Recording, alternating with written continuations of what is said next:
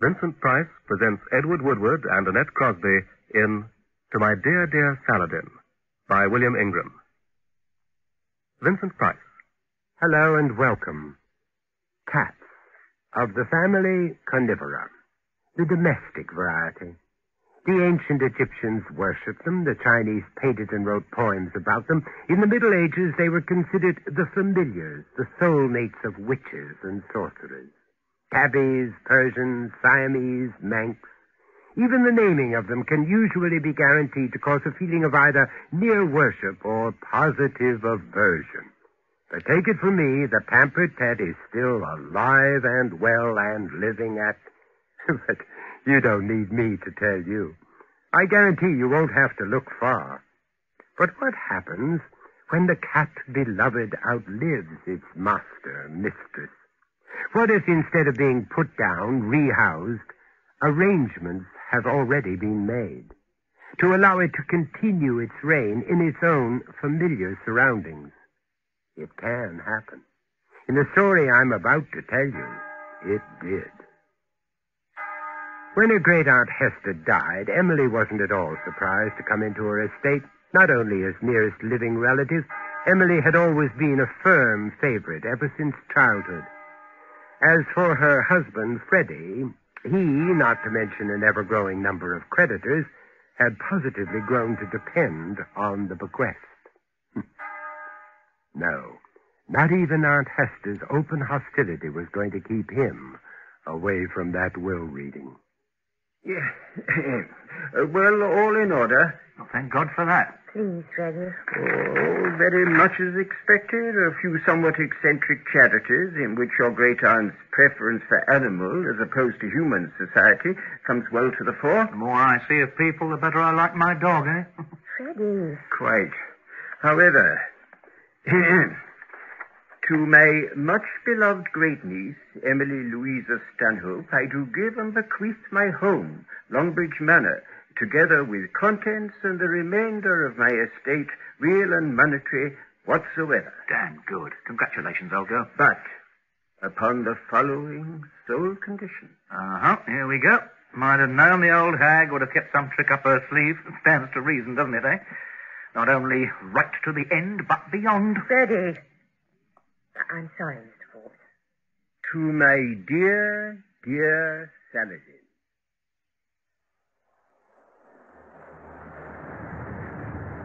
I wish you wouldn't keep going on about it, dear.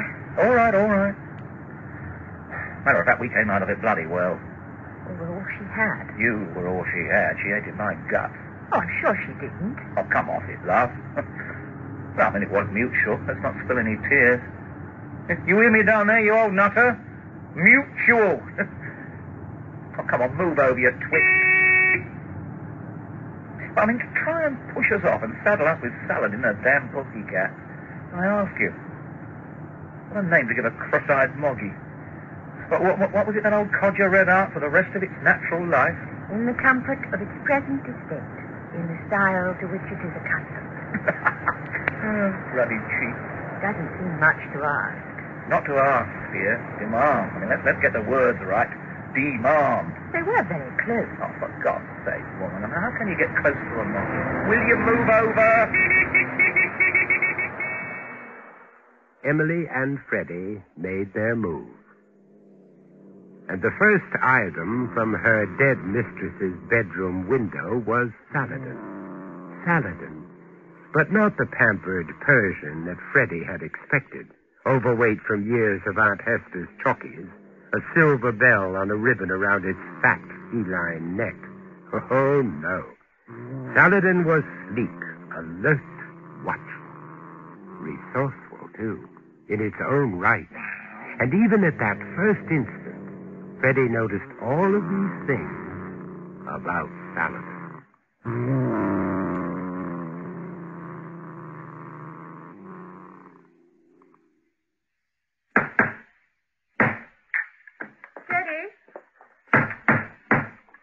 Freddie? Freddie! Yeah. Coffee. Oh, uh, well, great. Uh, put it down anyway. There's enough. Right. Well, that should do it. oh, is it sugared? What? Oh, yes. Oh, it's good. Hmm. Oh, that's nice. Would you believe it? Twelve tea chests of junk. We haven't even started on the downstairs yet. If it's just junk, I can't see why you're bothering to trade it. Oh, well, I mean, I'm, I'm not saying that some of it mightn't fetch a bob or two at some local auction. I mean, the magpies still exist. Yes. Oh, come on, and don't go all hearts and flowers on me, love. If you don't like the idea of it earning a few bob, I can always build a really great bonfire. No, but... no, no. No need to blow your top about it. No, silly, I know, but thanks. Why? Except you're not really thanking me at all, are you, eh? Come on. Come on, out with it. I don't understand. Oh, no, but I do. I do, though. I do, too. Damn true I do. You've had that keeper of the holy relics expression on your face ever since you set foot through the hallowed portal, so why don't you admit it? Look, all you've got to do is give me the nod. I can have that lot uncrated back exactly where we found them. I mean, it'd be, be, be just like we've never been here. I mean, is that what you want? Is that what you want? You want an honest answer? Uh, yes. I honestly don't know what I want, Freddie, and that's a fact. Oh, I see. Oh, my God. How the old girl would have loved that, eh? Oh, she's probably up there now rubbing her hands with anticipation. I can't see why she should be. Oh, it's the thin end of the wedge, isn't it? Seeds of discontent. And all of her planting. Well, I mean, just look at us. Look at us. We're not inside the place a couple of days. At each other's throats like a couple of banshees. Oh, that's a slight exaggeration. Mind you, I mean, I don't know why it should surprise me. Do you remember the first time you brought me round to meet the great Aunt Hester? Me and me 50 bob off the peg suit? You know, Sunday tea, wasn't it? Silver tea service, lace doilies, paper thin china, bread and butter to match. An atmosphere you could cut with your silver cake knife. My God, talk about talk about prejudgment. She'd made her mind up about me even before the taxi swung into the drive. She was old, set in her ways. And determined to stay that way no matter what it cost. Mind you, mind you got the worst of it. Hovering between us, keeping up the small talk. As though you actually believed any of it was going to make the slightest bit of difference. Oh, I thought it might at the time. Well, it didn't then, and it isn't now. I mean, thanks to her, we're back there again, aren't we? Right back. Choosing time all over again, is it? You know that isn't true, But do I, though? because she's dead and gone, and you're here. I don't really have any choice, do I, Freddie? no, no, you, you poor old thing, I'm afraid you do not.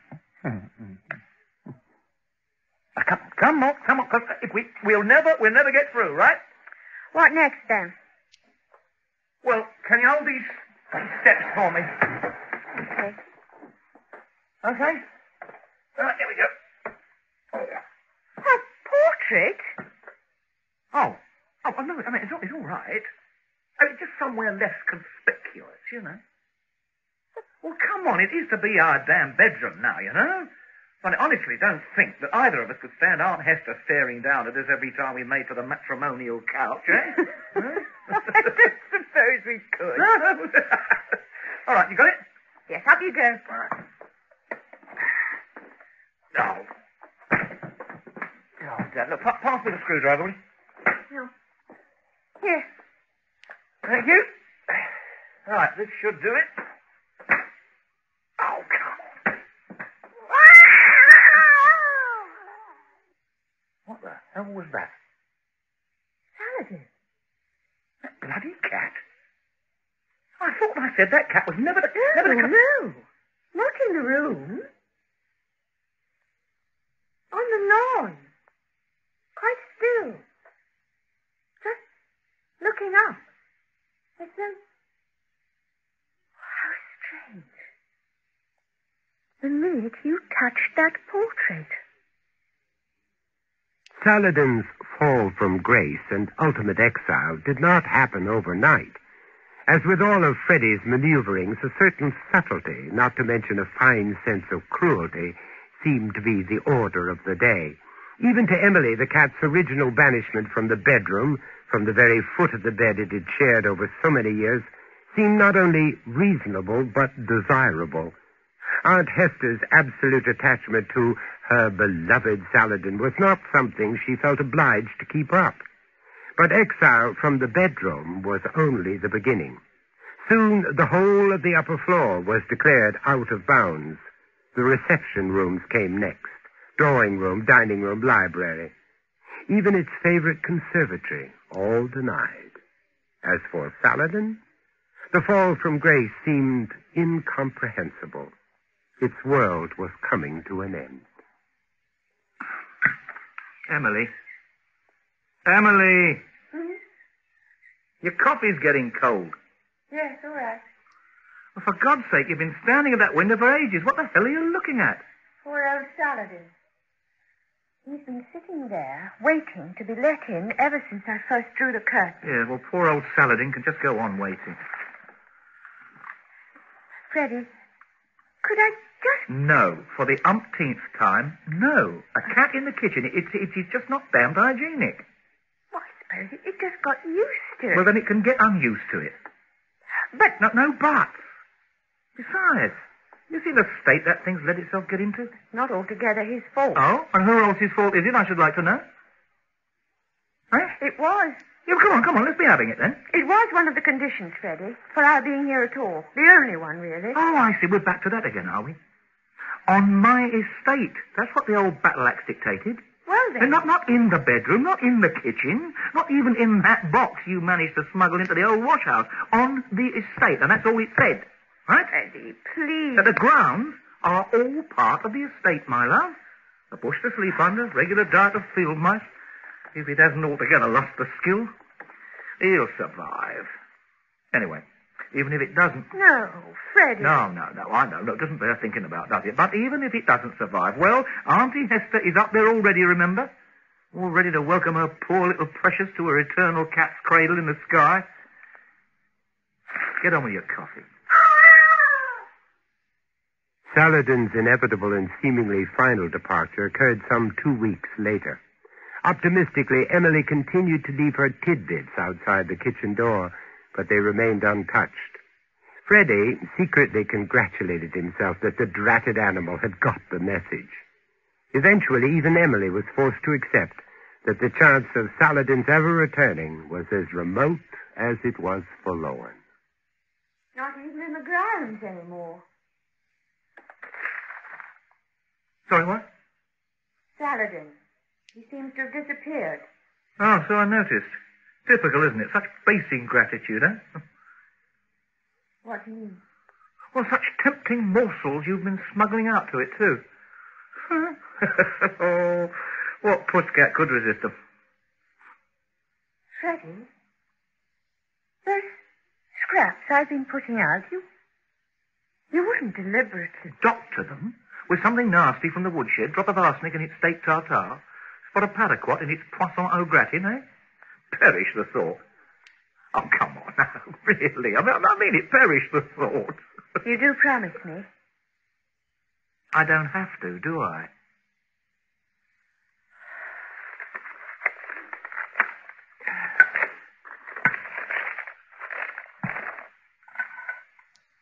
Oh, dear. Oh, good. Now what? It's from...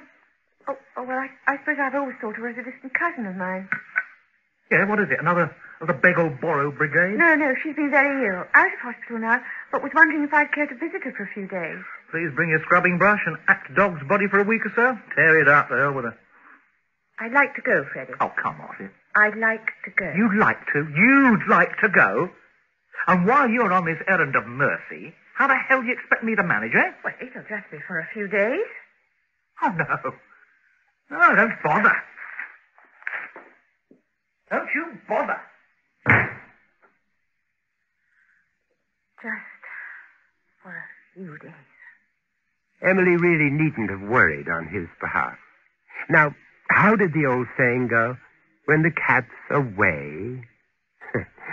and he'd laughed openly and loud at the aptness of his choice. 2007, 2008, nine, three grand, as per agreement. Oh, plus a percentage of anything over the odds in due course. Oh, yeah. In due course, Freddie. In due course. Just jogging the memory on that. Yeah. They were they were pleased with that first consignment. Oh, prime, Freddie. Prime. Well, it should be, old mate. Nothing of the best for dear Aunt Hester. Been in the family for generations, don't you know? she, she's probably got the crown jewels and the Ark of the Covenant stashed away in one of those damned attics of hers. Huh? Uh, all in good time, Smiley, mate, all in good time. Well, as much as you can let him have, was what the man said. Oh, well, I, I'm more, I'm more than happy to drink to that. Cheers. Well, come on, get it down, you then. Well, well, it's just that it is getting a bit on the late side. Oh, for God's sake, man. Yeah. You've had one eye on that damn front door ever since you set foot inside the thing. Whoa. Well, it was you I was thinking of, old mate. Me? Yeah, well, not that I've ever had the pleasure of meeting your better half, Oh, but, uh... well, no, the hell with my better half. I'll tell you something, old son. Because I, t- I tell the trouble with my better half is that she's so top drawer she doesn't even realise when she's had the furniture cut out from under her. you know, you know, you know, you know, when I met her, impoverished but genteel. Oh, yeah. You take it from me. They, they're the worst type. They can't afford what they think they're entitled to, and they won't put up with what they've got. Ah. I mean, God knows how she'd manage if she didn't have it off ready to set the pace. Oh, and you can certainly set the pace, my old I mate. tell you, old son, if it had not been for me, she'd have been, well, she'd have taken after her dear dead auntie. She'd have put down dust sheets, locked herself away up there in the attics, existed on a diet of baked beans on toast and cold cocoa. yeah. Well, uh, I ought to be making a move, huh, Freddie? You do no such thing. You will sit down. I could just sit down. I mean, I invited you here, didn't I? You are my guest. And if, if her bloody cousin is so important to her that she's got to drop everything and tear off the minute a damn summons drops on the doormat, so what does she expect me to do, eh? Eh? I mean, just sit here playing patience, twiddling my thumbs. Yeah, yeah, you got a point there, Freddie. Too right, I got a point. Oh, and she she would like that, Smiley. She'd like that. And she'd like to think that I was here on my own, Leo, pining away in solitary, counting the hours to her blessed return. Yeah, yeah, there, it's, in my God, that's dead on cue. Have you noticed, have you noticed, ever since you've been here, that damn phone's never stopped ringing? Ring, ring, Yeah. ring, ring. I couldn't help wondering. It's only her, mate. It is only her. It's a stop check, old mate, yeah? I mean, can't you just hear her telling that milk-sop cousin of hers, I'll just give the old scoundrel a ring and check what he's been up to, eh? ring, damn you, go on, ring. The trick is, the trick is, Smiley, is to keep them guessing. Yeah. Must get a bit wary now. Oh, too bloody true. If it weren't for the fact, Yeah? well, I mean, it's not forever, is it? I mean, nothing goes on forever. Here, No, figure. no, no, no, no, no, no, no, not the way you're thinking, old man. I mean, nothing that's crude, nothing, nothing brutal. It's just, she's got no staying power, do you see?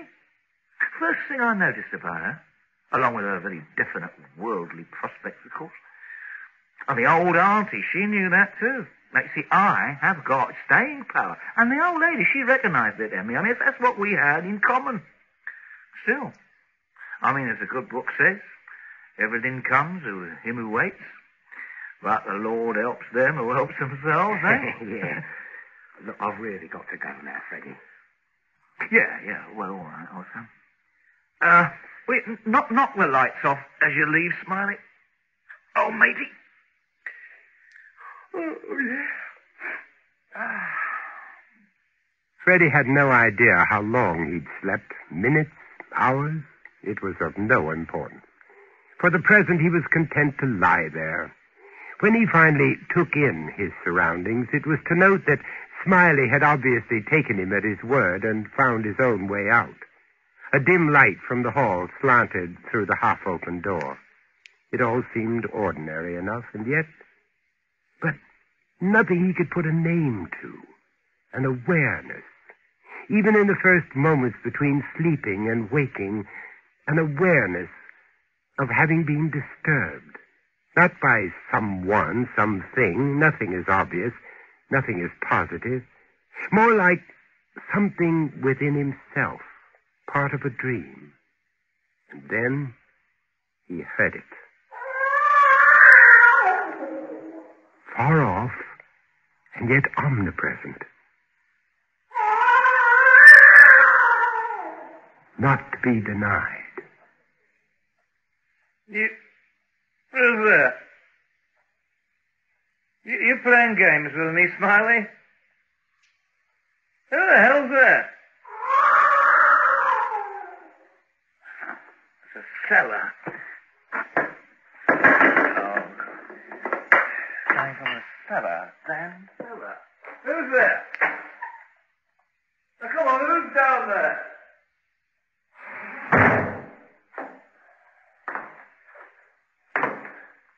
The light switch. Oh, where the hell's the light switch? Damn fuses again.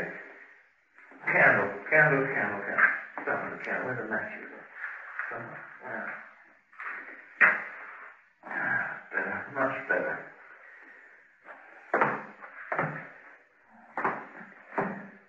Uh, who's there? Who's down there?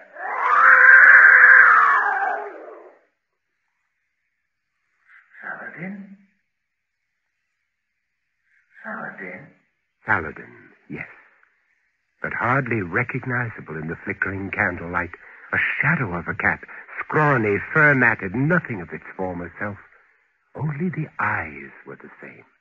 Watchful, opaque, unflinching. And Freddie was held by those eyes until the cat leapt.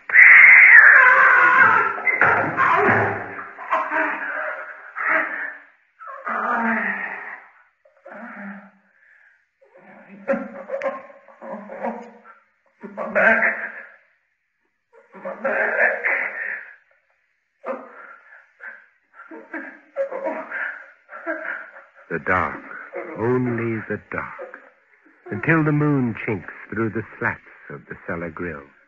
A pale moon, but slanting directly, almost magically, into the furthest corner of the cellar, onto the discarded portrait of Great Aunt Hester, hardly recognizable now. The once haughty features distorted by worm, mildew, damp. And yet, Her eyes. Still there. Oh, God. Oh, Jesus. Those green eyes. They're just like. Freddie recognized them for what they were. The eyes were the eyes of Saladin, watching him from beside the portrait of its dead mistress. Then closer, ever closer, until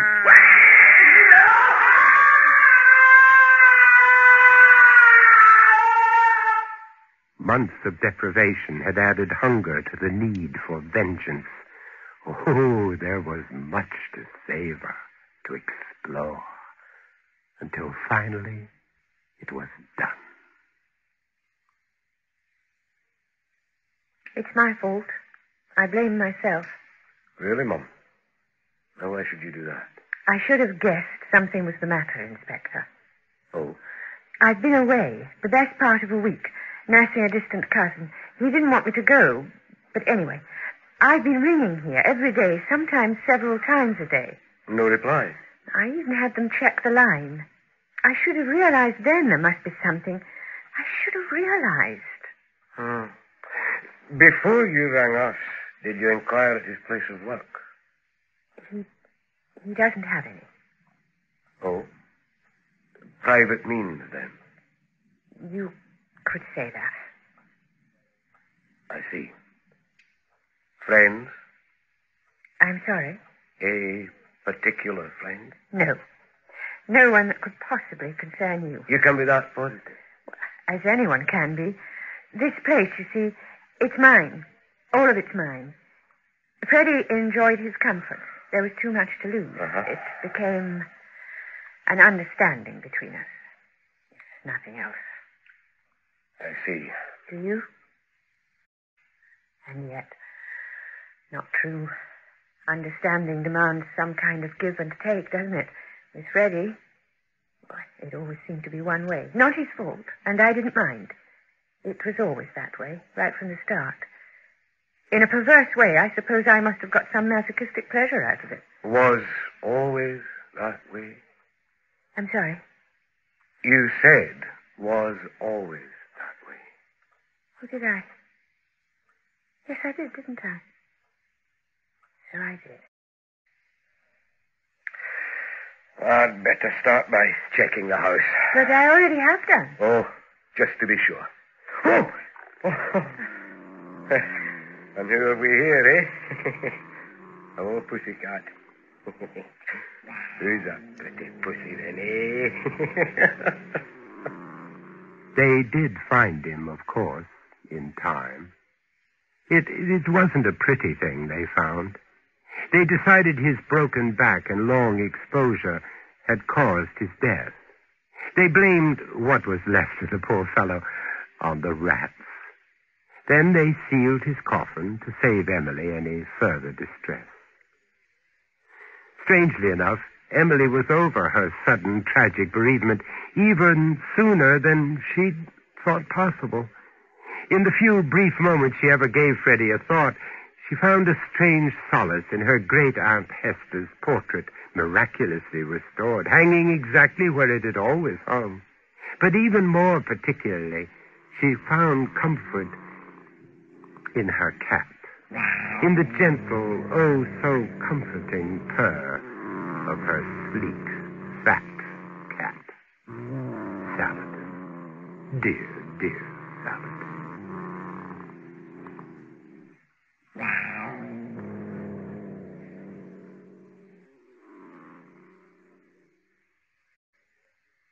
That was To My Dear, Dear Saladin, starring Edward Woodward as Freddie and Annette Crosbie, Emily, with Steve Hodson, Smiley and the police inspector, and Louis Stringer, the solicitor.